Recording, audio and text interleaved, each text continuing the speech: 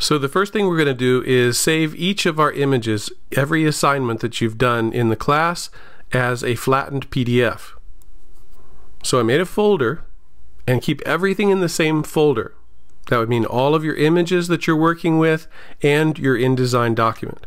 So with your Photoshop files, the assignments that were done in Photoshop, you go to File, Save As, and you navigate to your folder. I called mine Files for InDesign, and I have a separate folder, PDFs and JPEG, and I'm going to save as Photoshop PDF. Okay, PDF, and I'm going to uncheck the layers box so it's a flattened PDF. Okay, very important. So we don't have to work with all these individual layers. We just have one single uh, flattened PDF image. Okay, and I'm saving it to my folder. Save. That's okay. And high quality print is good for PDF preset and hit save PDF. That's okay. Now I'll go to Illustrator and we just want to prepare an, a PDF file. So for Illustrator, we go to File, Save As, and we choose Adobe PDF, and we will save it. So I want to change it to Project 4 hit save and I will choose high quality print again hit save PDF and there you go. So you want to do that with each of your Illustrator assignments. So we go back to our folder here and we have PDFs and JPEG. So we should see project 1 2 3 4 5 and 6 as PDFs, flattened PDFs, no layers.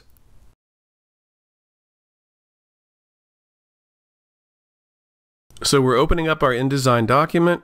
I click on the InDesign icon and we'll hit create new or let's go to file new old school file new document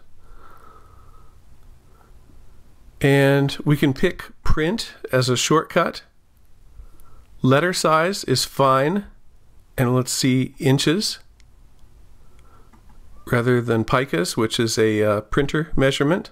So now we can see it's 8.5 by 11, orientation vertical. And this is important. We want four pages.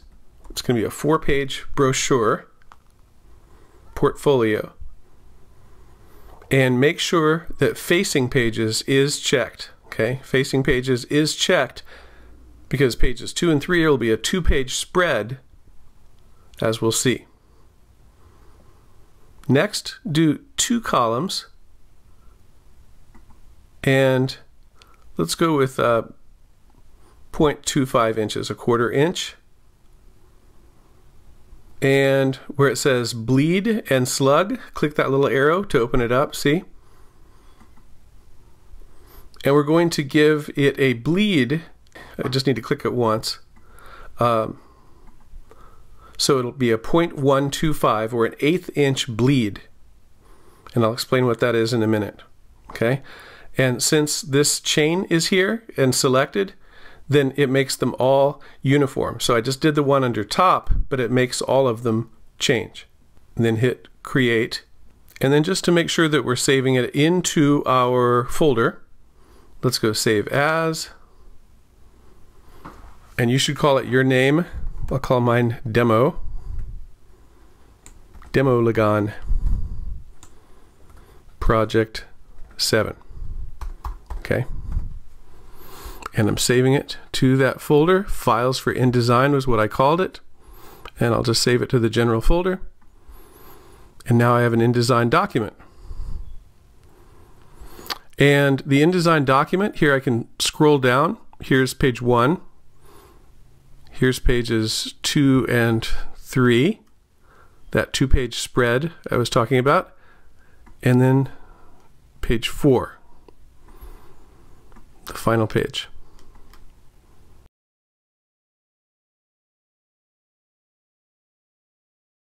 Okay, so I'm going to scroll back up to page one, and we're just going to put your identity logo on page one as like an introduction or a cover. Okay? So the way we would do that in InDesign. I'm, cl I'm clicking on that black arrow, the selection tool, and I'm going to go to File, Place, File, Place, and then I'm going to go to my PDFs and JPEGs folder, okay, where all my stuff is, and that logo, I think, is Project 5. I'm previewing it just to make sure. And I'm going to uncheck the box that says Replace Selected Item because if you accidentally have something selected, then it'll make it disappear and replace it with something else. So I'm unchecking that and I'm going to hit Open. And when I hit Open, I have this little, my cursor is kind of loaded with, it's showing me this image. So I could do two things. This is a big high resolution image. So if I just went click, it would appear big. But what I'm going to do is I'm going to make it approximately the size that I would want it by clicking, holding down, and dragging a rectangle to show what size I'd like the image to be. And you can grab it from any place inside to move it, except, do you see the little circle within a circle? You don't want to move it from there. The reason is, like you can reposition an image inside of its box, right? So that would look cool as a design, you know, in some cases to recrop an image that way, but not for us in this particular instance, okay?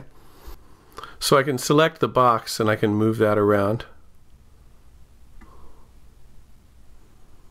And you have to be careful because the box kind of works independently of the image. I'm going to make sure I can see the rest of that there. See that? Now, if you want to resize the image after the fact, you can do that.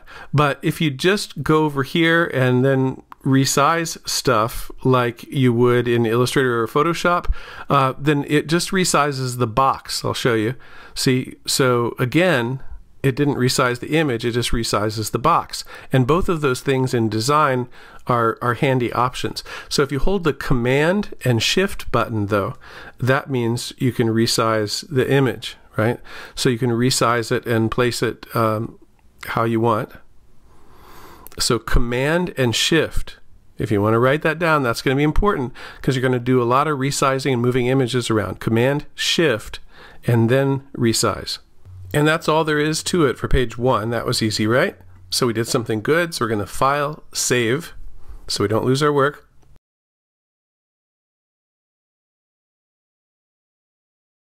Now comes the harder part. We're going to scroll over here to page two and three.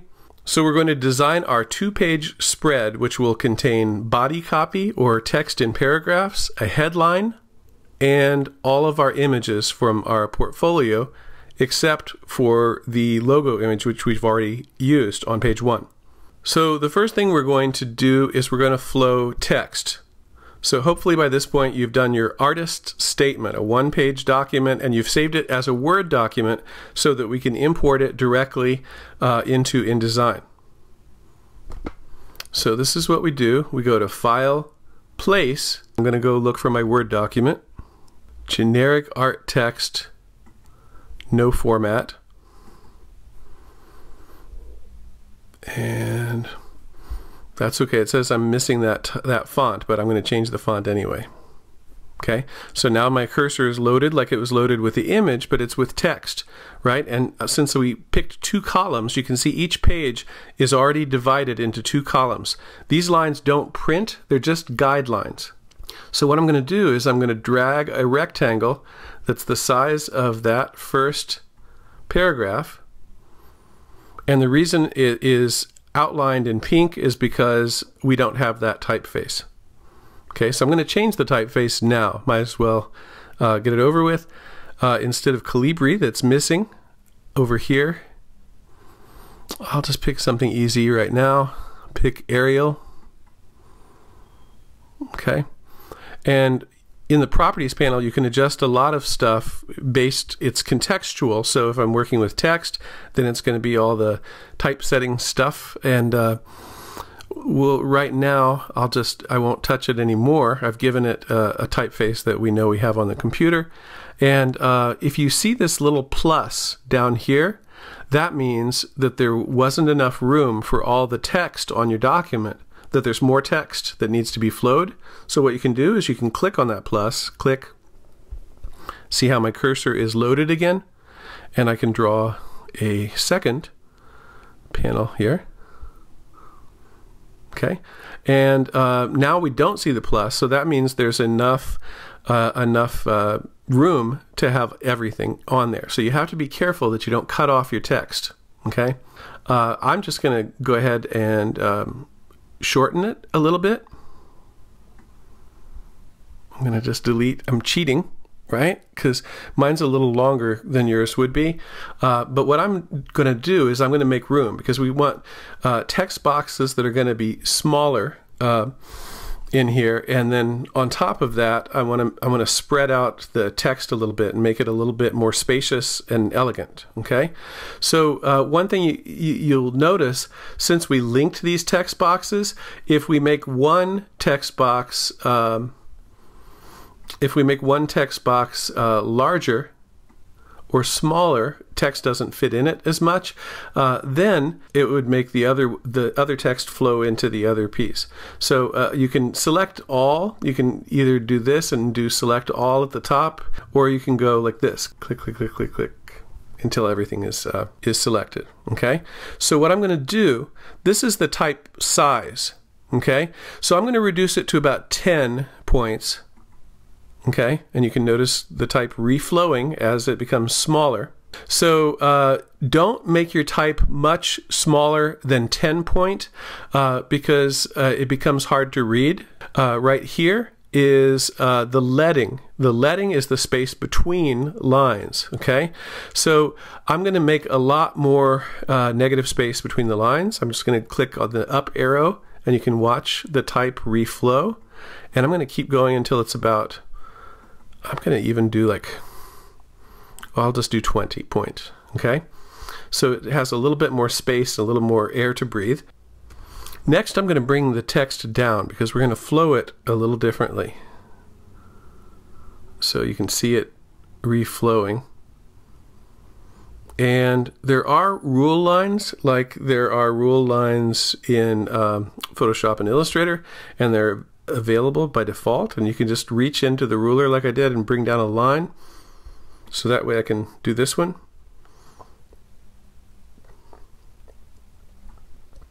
And reduce it so they line up okay? And if it doesn't line up quite perfectly you can use the up and down arrows to line it up perfectly okay? Now notice there's a plus so I need to reflow to a third column Okay. And I'm going to bring down another rule line, make sure everything is lined up okay. And then here's a fourth line. So I might need more space and I might need less space than this. The reason being, I'm going to flow some pictures into this later, so we'll see how much space that I end up uh, needing.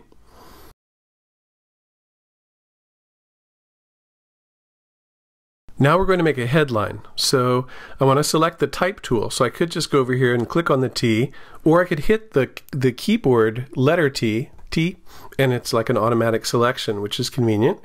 Uh, so now I'm going to click, hold, and draw a text box over here, and I'm going to let go. And this is an alternate way of doing text. So for the body copy, the paragraphs, I did uh, file place, and then I place the text. The alternative would be to draw out some blank text boxes and then copy and paste into it, or just type. So that's what I'm doing here. I'm going to type nature and imagination. Okay. And I'm going to select it like I would a word processor, and I'm going to adjust. First, I'm going to pick a typeface that I think is more appropriate. I'm going to go with uh, Monaco. And uh, of course, you'll spend a lot of time thinking about that and looking at them and seeing what typefaces you have available. Uh, but I knew in advance I wanted Monaco, and I'm going to increase the text size until it gets to the point of almost filling the box. If I fill it too much, it's either going to go onto a second line or disappear completely. So if that happens, just start reducing the type size until you see your image again. Okay? And I'm going to click on the selection arrow and I'm going to bring the text box up a little bit so I don't have that extra space and now I can position this however I want. Okay.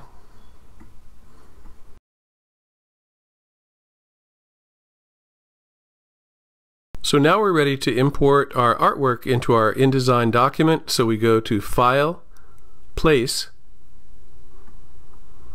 and we go to the right folder, right? And this time I'm going to select things by holding down the Command key so I can select some things but not other things uh, because I want to select Project 4 and Project 2 and Project 6 and Project 3 and Project 1. Not 5 because that's the logo project that we already put on the first page. Okay? And press open. And you can do these all separately. You could go and, and place each one separately if you found it uh, easier and less confusing. But I'm going to do all at once. I hit open. And then my cursor is loaded with my first artwork. And I'm clicking, holding, and drawing down to make a small image because if I went click, it would make it the size of the page or bigger, whatever size the actual document happens to be. And we don't want that. We want them small. We can always scale them up because they are high resolution images, but we just want them small now so we can see them all on the page. So I'm clicking one after the other. Right, so this is what happens when you select more than one image and do place. And then I'm going to draw this one a little bit bigger. Okay, so got all the images in. I'm going to hit save so I don't lose my work.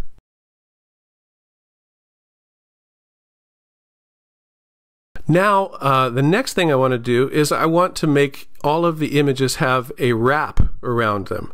Okay, so that means when I move them into the the text, that the text will flow around them instead of do that, right?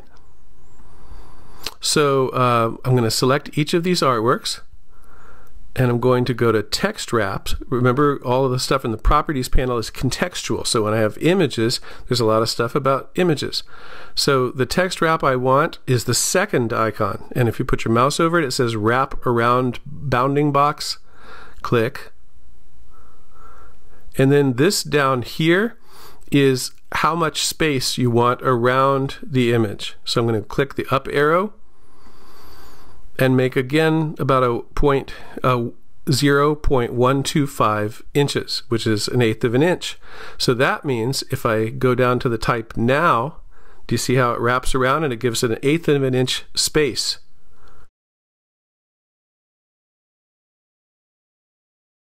Okay, so now I'm ready to put the wraps around each of the other ones. Second choice and 0.125. This one. Wrap around the bounding box 0.125 this one.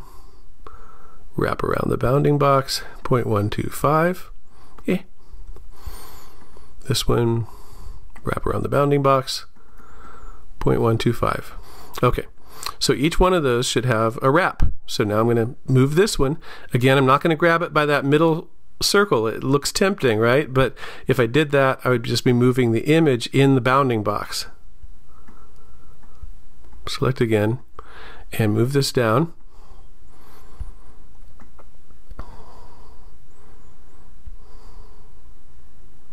Okay, so you can see the wrap around it.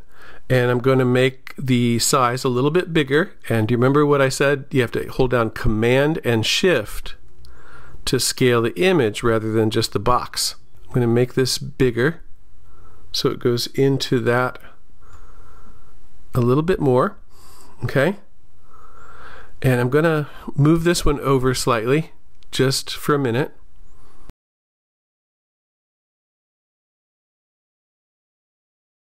And notice I'm lining them up with these red lines, or trying to.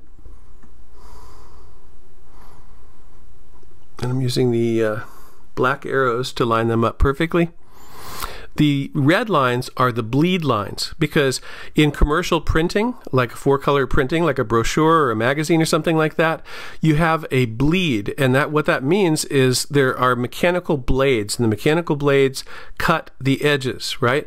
And if you have an image that is just going to the edge of your document, then it's likely that those blades will miss and you'll have like some white space at the edge of your document.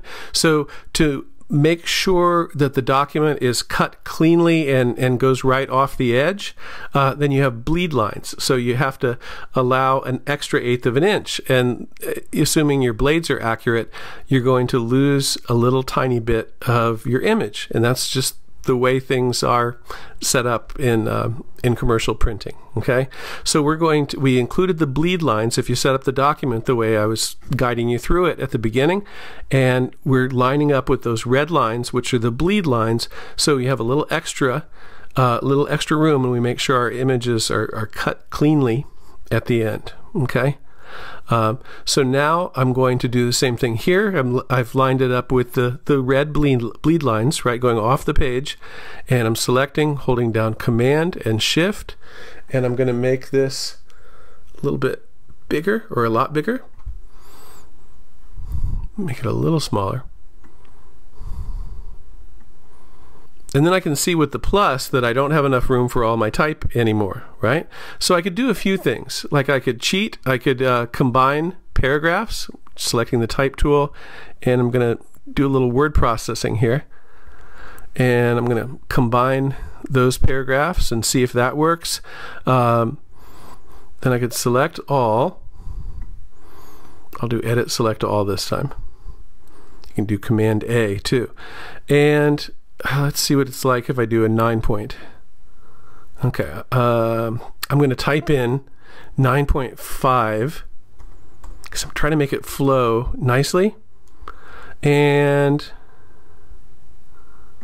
I think I can, so you can kind of fudge it a little bit. Um, let me see what that looks like. Okay, so even though it says there's a plus, it's just space. I can see that that's the end. So meaning is my last word, and that, that flows pretty well. So that's pretty good. Okay, so what I'm going to do now is reposition these little images and resize. I'm going to start with this one over here because I like how the, the uh, green over here matches up with the green over here. I'm going to put this one second.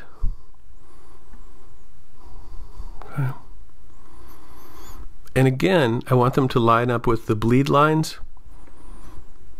So I'm going to move them up a little bit.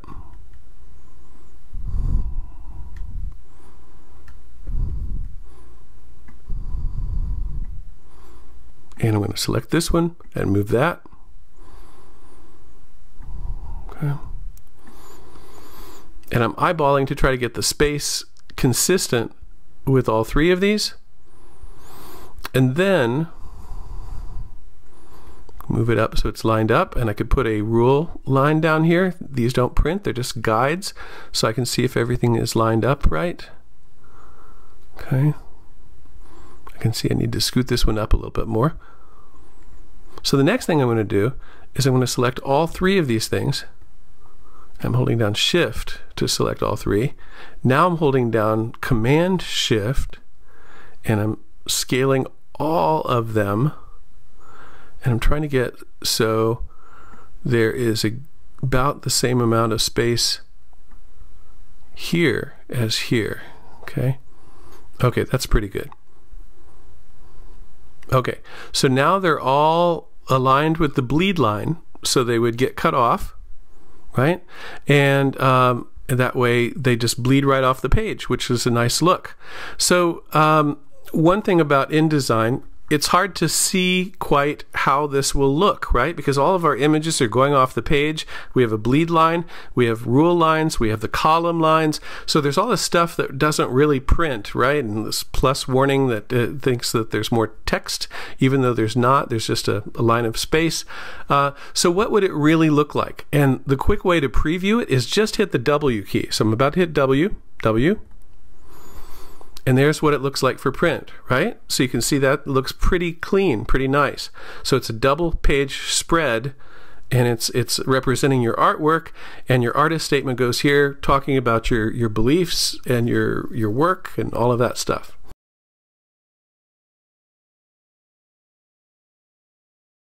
So now we're ready for page four, which will be simple. I'm going to scroll down here. And if all goes well, you'll have a screenshot of your HTML project that you're going to do in class. So we'll do File, Place, and put it here on the back, page 4. And that one is HTML example. I'll hit Open and I'll just draw that out. You can see the image with code and then I'm going to do a little text box at the bottom and this is all in your uh, assignment sheet too by the way. So it'd be your name. Typing my name. And digital 1 and project 7 colon text. And image. Okay? And when we select this we're going to make it Arial because we want it to be the same um, the same typeface that we used in the other pages for the body copy right? For consistency, make things consistent, including spacing and everything else uh, whenever possible. Uh, I'm going to go over here where it says paragraph and make it centered. Okay, and then I'm just going to position it a little better.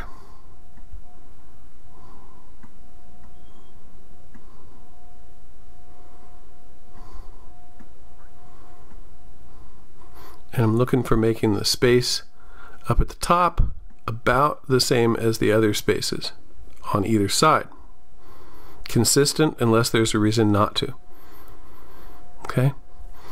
And this one I think I'm going to make bold. I'm going to select, and instead of regular, I'm going to make it bold. And I'm done, and I hit save.